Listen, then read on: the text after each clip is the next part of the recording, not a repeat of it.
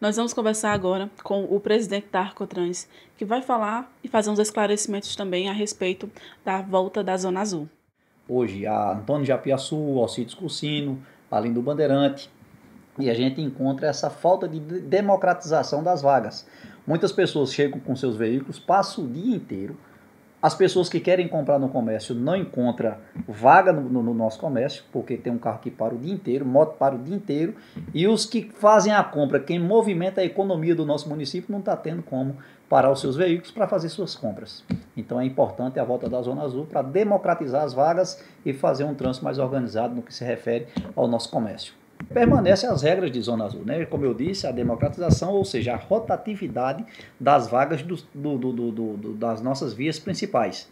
E com, as possibilidade, com a possibilidade de ter alguma ampliação ou diminuição também, e a modificação que vai ter vai ser sobre, por exemplo, mais ferramentas para a população acessar né, o, o, o, a compra do tempo para poder estacionar.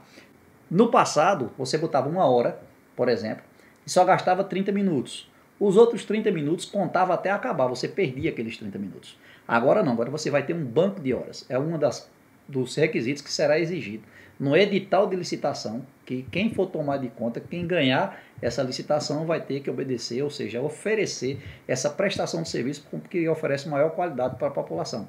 Outro ponto positivo é a instalação de sensores por toda a extensão das nossas avenidas, para pelo celular pelo celular você vai ver onde tem vaga e onde não tem. Se a vaga está ocupada, está vermelho. Se está aberta, está verde.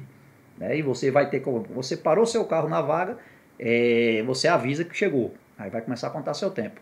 Você saiu, você avisa que saiu. Aí para outra pessoa que precisar daquela vaga, já vai estar tá verdinha e já pode chegar e estacionar. Então é uma forma de facilitar o acesso a essa organização. A fiscalização da Zona Azul será feita da, da, pela, o, as funcionárias ou funcionários da empresa que possa ganhar, que não se sabe qual é essa empresa que vai ganhar, até porque está se construindo um edital né, com as exigências necessárias que possa corresponder às necessidades do povo de Arco Verde, às necessidades do nosso município.